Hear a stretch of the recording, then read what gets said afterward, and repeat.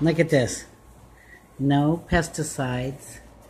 This is from one little tree in the front yard.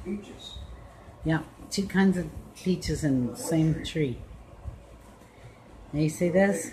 And the only fertilizer used was kitchen scraps from in here. You see? And we did bleed. We did bleed on that tree. This is just the first harvest. So I have to peel some of these and put them away and freeze them, and some I'll make pies out of. And of course, the neighbors should get some.